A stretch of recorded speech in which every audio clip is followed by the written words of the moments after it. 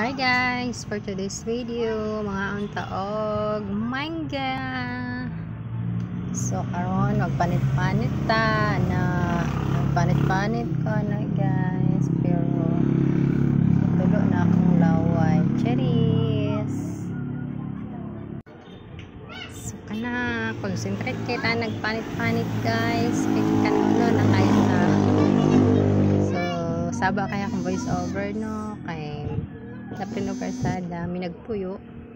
Dayon, dagang yung sakyanan. Lingit ako na ba yung mga person. Chores. Nahiwao na nato siya. Na lamit na jud kay kaon. Tulog-tulog na jud ang mga kalawayan. Ana. Ayan.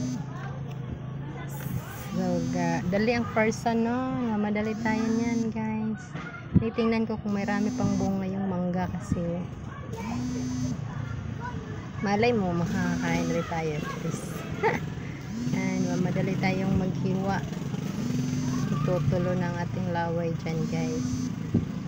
Yan wag na pa kuan kay gatulo Yan, so concentrate kay tano sa tawag maghiwa.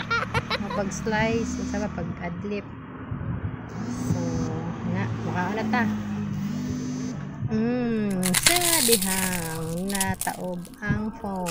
Ayan, balik na to. Ayan. So, tingin sa kaliwa, tingin sa kanan. Oh, asim ah. Tapos, ayan. Kain ulit tayo ng mangga. Mmm, yummy. Kain lang na kain. So, yan.